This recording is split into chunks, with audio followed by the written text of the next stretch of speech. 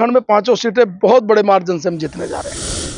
हमें सुनने को आई है कि अगर यहाँ से अमन गुप्ता चेयरमैन बनते हैं तो छह बीघे धरती या आठ बीघे धरती युवाओं के नाम करेंगे। ऐसा सुनने में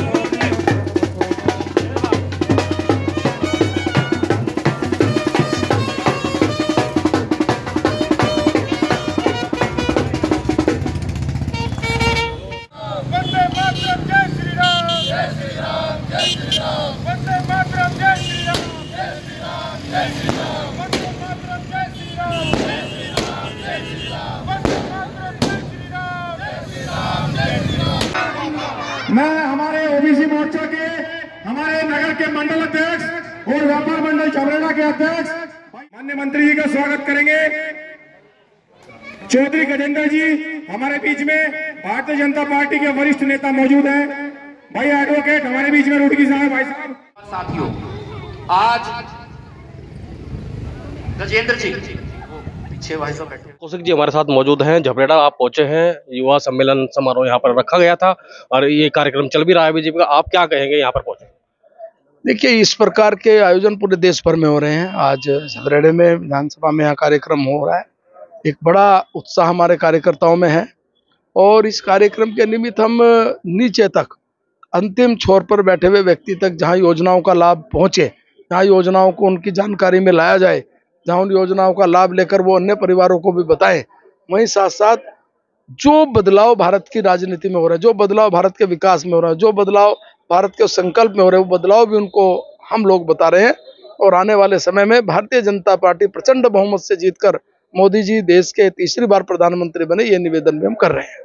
जो लागू हुई है तो उसको लेकर क्या कहेंगे? क्या माहौल है? मतलब जो राज्य है उसमें क्या माहौल है? पूरे देश भर में पहला राज्य उत्तराखंड बना।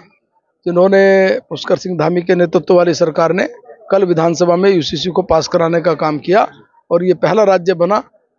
आने वाले समय में अन्य राज्य भी इसका मार्गदर्शन लेते हुए और अपने यहाँ यूसीसी लागू करेंगे और जल्द ही आप देखेंगे देश के बहुत राज्यों में इसको लागू होगा। चार सौ पार की आप बात कर रहे हैं सीटों की। चंडीगढ़ में भी एक वीडियो वायरल हो रही थी जिसमें वोटों की धांधली चल रही थी। उसको लेकर क्या कहेंगे? क्या ये लोकतंत्र की हत्या नहीं है? देखिए जो मामला सब जुडिस होता है उस पर क्यों बोला जाए? सब जुडिस मामला सुप्रीम कोर्ट में है इसलिए उस पर बोलने का कोई अधिकार नहीं है। बोलना तो सर पड़ेगा ना कि नहीं, उस पर रहा है आप नहीं, लेकिन- कैसे बोल सकते हैं? जब सब जुडिस मामला है तो कोर्ट के मामले में बोलना ये किसी भी राजनीतिक या राजनीतिक दल को उचित नहीं है। तो 2024 इलेक्शन को लेकर क्या कहेंगे? जैसे ये कार्यक्रम चल रहे बहुत जो सीटें बहुत बड़े मार्जिन से हम जीतने जा ज़िले के प्रमुख समाज सेवी डॉक्टर अमन गुप्ता हमारे साथ मौजूद है। आज यहाँ पर युवा सम्मान सम्मेलन समारोह यहाँ पर रखा गया था। ओबीसी का कार्यक्रम चल रहा है भाजपा का। और मैं आपको बता दूँ अनेकों कार्य डॉक्टर अमन गुप्ता ने झबरेड़ा सहित पूरे जिला हरिद्वार में ऐसे किए हैं जिनका मैं आपको पहले भी बता चुका हूँ। डॉक्टर साहब क्या कहेंगे आज आज का कार्यक्रम को लेकर? देखिए, आज ओबीसी युवा संवाद सम्मेलन हर- झबरेड़ा में आयोजित किया गया। और इसके तहत मैं ये कहना चाहूँगा कि आज हमारे बीच में प्रदेश के कद्दावर नेता श्रीमान मदन कौशिक जी का भी आगमन हुआ। पूरे कस्बे ने ज़ोर शोर से उनका स्वागत किया। और मंदिर के प्रांगण से शिव चौक इधर है और नंदावाला बाग इधर है।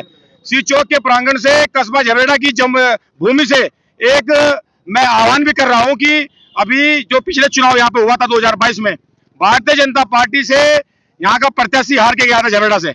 अभी हम युवाओं ने मंदिर के प्रांगण से ये ये प्रण लिया है कि हम भारतीय जनता पार्टी को आगामी चुनाव में जिता करके भेजेंगे, ऐसा सभी युवाओं का प्रण है। और मैं भी इस बात का विश्वास दिलाता हूँ भारतीय जनता पार्टी को कि झबरेड़ा से अब की बार लोकसभा चुनाव जीत करके जाएँगे। डॉक्टर रमन गुप्ता, आप लगातार समाज सेवा में रहते हैं। कभी आप कोई कोई सा कैंप लगाते हैं, कभी आप रक्तदान कैंप लगाते हैं, लेकिन हमें सुनने को आई है कि अगर यहाँ से अमन गुप्ता चेयरमैन बनते हैं तो छह बीघे धरती या आठ बीघे धरती युवाओं के नाम करेंगे। ऐसा सुनने में युवाओं को आठ बीघे भूमि अगर वो मुझे यहाँ का अध्यक्ष बनाते हैं, वो पिछली घोषणा में कर दी है। युवाओं के लिए स्टेडियम हो और यहाँ पर आंगनबाड़ी के लिए केंद्र का भवन का निर्माण हो और यहाँ पर परशुराम जी का मंदिर हो। जिन नगर पंचायत में है, उसको बाहर निकालने का काम हो। तो हमने युवाओं से बातचीत करके क्योंकि मैं युवाओं के बीच में रहता हूँ और युवाओं से लगातार बातचीत करता रहता हूँ तो युवाओं को मैंने आठ बीघे भूमि देने का वादा किया है और मैं उसको दूँगा। और और और ये काम मैं युवाओं के लिए हमेशा करूँगा क्योंकि डॉक्टर अमन गुप्ता हर समय युवाओं के बीच में रहते हैं। मुक्तवाली में एक मामला हो रहा था कि मुख्यमंत्री की घोषणा थी कि वहाँ प्रतिमा लगनी चाहिए उस प्रतिमा को लेकर एक देशराज कंडवाल जी को वहाँ के लोगों ने ज्ञापन भी दिया है। उसको लेकर क्या कहेंगे? देखिए इस बारे में मैं ये कहना चाहता हूँ जो माननीय मुख्यमंत्री जी की घोषणा है जहाँ पर मूर्ति स्थापित करने की बात है हम युवा टीम और मैं भी खास तौर से एससी समाज के साथ हूँ और जहाँ पर भी ये मूर्ति स्थापित होनी है वहीं पर ही इसको कराएँगे। ये हमारा वादा भी है और इसको हम करा, करा के ही छोड़ेंगे। और क्या क्या आप देख रहे हैं कि जबरेडा में और क्या होना चाहिए क्या नहीं हुआ है? देखिए जबरेडा में स्टेडियम की व्यवस्था नहीं है बच्चों के खेलने की व्यवस्था नहीं है उसके लिए मैंने युवाओं से वादा कर लिया है कि मैं अपनी छह बीघा ज़मीन इस काम के लिए दे रहा हूँ। और आंगनबाड़ी केंद्र के लिए भवन नहीं है, उसके लिए भी अपनी ज़मीन दे चुका हूँ। और सबसे बड़ी बात, ये तो मैं मैं कर ही रहा हूँ कि आंगनबाड़ी केंद्र के लिए भूमि हो गया, जिम का निर्माण हो गया, ये सब कार्य कर रहा हूँ। और सबसे बड़ी बात, आज मेरी टीम के दो सदस्य यहाँ पर खड़े हैं। इन्होंने मुझसे कहा कि हम भी इसमें कुछ सहायता करना चाहते हैं। अभी ओबीसी मोर्चा के अध्यक्ष आज के कार्यक्रम के अध्यक्ष बिट्टू सैनी है। इनसे भी आप एक मिनट के लिए बात करेंगे ये भी कुछ कहना चाहते हैं। कार्यक्रम आपने यहाँ पर रखा और यहाँ गाजे बाजे के साथ अ, मदन कोशी जी का स्वागत हुआ। उसको लेकर क्या कहेंगे? देखिए ये तो जनता का प्यार है। देखिए जब मैं जब मैं अपनी युवा टीम के साथ पूरे कस्बे वासी के साथ रात को 12 बजे भी खड़ा हूँ तो जनता का प्यार आप देखिए कि कितना सुंदर आयोजन कस्बे में आयोजित हुआ है कि ज़ोर शोर से सभी युवा टीम मेरी मातृशक्ति जिन्होंने प्रदेश के हमारे नेता कद्दावर नेता मदन कौशिक जी का स्वागत किया आपने सब देखा ही है। अनुज सैनी जी हमारे साथ मौजूद है। क्या कुछ कहेंगे सर? आप यहाँ पर मौजूद हैं और जो कार्यक्रम चल रहे हैं भारतीय जनता पार्टी के उसको लेकर क्या कहेंगे जो सम्मेलन चल रहे हैं सर? देखिए आज भारतीय जनता पार्टी ओबीसी मोर्चा के द्वारा आयोजित ये कार्यक्रम हमारा युवा संवाद कार्यक्रम रहा। जिसमें भाई अमन जी जो हमारे यहाँ बहुत अग्रणी समाज सेवी है, उनका भी हमें पूरा सहयोग मिला कार्यक्रम में। और हमारे मंडल अध्यक्ष भाई अजय सैनी जी, जिनके नेतृत्व में आज हम सब यहाँ पे इकट्ठे हुए, आपने एक भव्य दिव्य कार्यक्रम रखा, जिसमें हमारे प्रदेश के पूर्व प्रदेश अध्यक्ष और विधायक वर्तमान हरिद्वार आदरणीय मदन जी मुख्य अतिथि के रूप में पधारे थे। ये सारे कार्यक्रम राष्ट्रीय स्तर से प्रदेश भर में हो रहे हैं। और हमारे रुड़की ज़िले में भी ये आज पांचवा विधानसभा कार्यक्रम था। और बहुत अच्छा कार्यक्रम रहा। इसमें युवाओं की जो समस्याएँ है वो निकल के आई है तो उनको सरकार के पास पहुंचाना ये एक माध्यम हम लोग बने कि कोई उनकी समस्या है तो उसको हम सरकार तक पहुँचाए। जनता पार्टी का एक नारा है 400 पार का। क्या इस बार 400 पार? बिल्कुल इसमें कोई शक नहीं है कि हम 400 पार नहीं जाएँगे। प्रधानमंत्री जी ने भी कल परसों लोकसभा में बोल दिया है कि भारतीय जनता पार्टी 370 और हमारा गठबंधन 400 पार डेफिनेटली जा रहे हैं और हम सभी मेहनत करके उनको लोकसभा। अपनी हरिद्वार उनकी झोली में देंगे। आप क्या कहेंगे? बोलिए जी सर हम डॉक्टर साहब के साथ डॉक्टर साहब के साथ कंधे से कंधा मिलाकर इनके साथ है। जैसे ये कहेंगे ऐसा ही हम करेंगे। क्या झबरे झबरेड़ा में जो जितनी इनकी लोकप्रियता देखी जा रही है जैसे कार्य कर रहे हैं क्या लगता है कि आपको भारतीय जनता पार्टी इनकी तरफ़ देखेगी या विचार करेगी भाई टिकट मिलना भारतीय जनता पार्टी इनकी तरफ़ देखेगी टिकट इन्हीं का है। ये भी सच्चाई है। हम दिल से बता रहे हैं ये बात। आप क्या कहें? जी जो ये कार्यक्रम रहा है इसमें हमारे डॉक्टर साहब का बहुत सहयोग मिला बहुत अच्छा कार्यक्रम रहा। हमारे नगर के लोगों ने बढ़ चढ़ के हिस्सा लिया और मुझे लगता है कि अगर हमारी झबेड़े की जनता हमारे डॉक्टर साहब को नगर का अध्यक्ष बनाती है तो मुझे लगता है कि हमारे झबेड़े में चार चाँद लग जाएँगे। युवा क्या चाहते हैं? आप देख सकते हैं अमन गुप्ता जी के साथ है हमेशा। आप? भारतीय जनता पार्टी से।